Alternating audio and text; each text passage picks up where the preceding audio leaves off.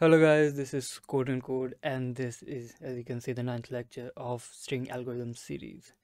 In this lecture I'll be telling you why you should learn trie data structure. Or basically where trie data structure will be utilized in uh, in competitive programming and in other respects as well in other areas. Okay? So let's get started. And yeah. Keep mind this title. This is special. I mean keep in mind. So what are the applications of trie data structure? There are a lot of uh, applications of trie data structure. Some of them are mentioned here. Uh, first of all it helps in autocomplete. Whatever you are typing whenever we type something we see uh, auto completed uh, suggestions right? So trie data structure can be used to implement that uh, uh, use case.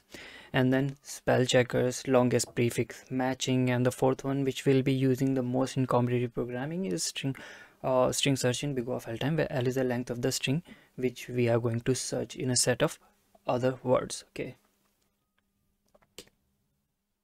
Now how the autocomplete works just just a hint just an idea. So suppose uh, this is my trie data structure and these are the only words uh, or uh, these are the only words that I've inserted for now okay? So suppose you entered BA so this is where you start. This is the root of your uh, of your trie okay? So you start from here. The first character is B. So you go here and the other character is A. Then you go here. So now from here there are two paths right? This and this. So there'll be two suggestions ba you have already typed bad or back so you'll be getting two suggestions bad or back. Depending upon how how many characters are there and other uh, other characteristic that the the guy who has implemented the uh, autocomplete.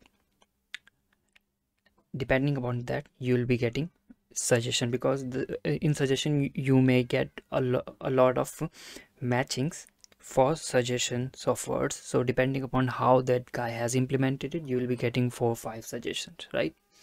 Uh, and yeah the starting from certain uh, starting from root to the end we get a single word right? It is possible that we can get a word even before we reach the uh, the what we call it end of the tree uh, what we call it in a tree where we end. Leaf node yeah sorry. My memory is not really good.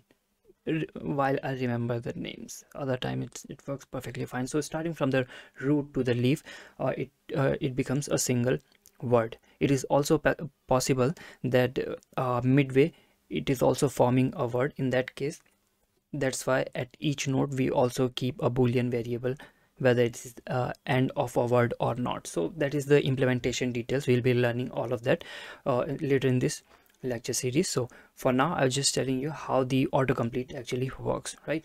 So now about the title. You see uh, a long time ago i solved this problem like 2018 I solved this problem and I still remember because this is one of the most important problem that I solved at that time because uh, when I, I usually when I solve problem and because some problem if I'm learning a new concept then that problem holds a special place in my heart uh, same goes for this problem. Because of this uh, I was forced to learn trie data structure so you can see the question is you are given n number of uh, number of integers. Oh basically you are given uh, q queries each time uh, query can be as large as in uh, 2 into 10 power 5 so each time you are asked you are given a a multi set of integers.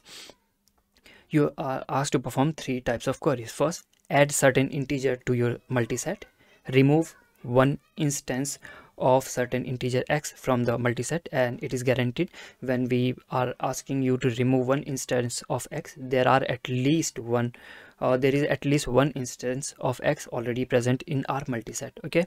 And finally uh, this is the most important query part a question mark x. That means you have to uh, you are given integer x, and you need to compute, uh, compute the value this one the maximum value of bitwise uh, exclusive or basically XOR with the available integers in your multiset. So you have to perform x XOR y where x are all of the integers present in your multiset and we have to report what is the maximum XOR that you can achieve using this x integer and some integer already present in your multiset so you can see uh, you can't just in each query you can't just traverse the whole multiset and and perform this XOR operation and find out the maximum that is that is not possible. Since the number of queries are 20 times power 5 uh, n square will not work q square will not work here. So basically n square where n i'm assuming is the number of uh, integers present in your multiset. Basically quadratic complexity is not possible here. Uh, we will get TLE so uh, at max what we can do we'll be solving the this query part in log n time. And how we'll do that?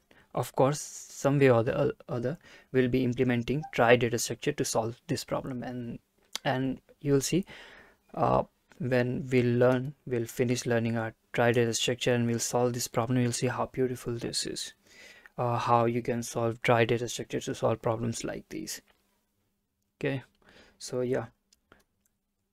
These are the applications of trie data structure and these are the problems. I mean this is one of the problem one of the many problems which we'll be solving using trie data structure so uh, in the next lecture hopefully we'll start learning uh, we'll start learning about the trie data structure and implementation of it as well. So yeah this was all for this lecture. If you have any suggestion or problem that you would like to suggest which we can solve using trie data structure or any resource uh, you believe that uh, i can learn from that resource myself and then uh, enhance my teaching skills related to trie data structure uh, you are more than welcome to uh, suggest me that resource. Yeah. So this was all for this lecture. Thank you guys for watching. And till the next video drops keep coding. Thank you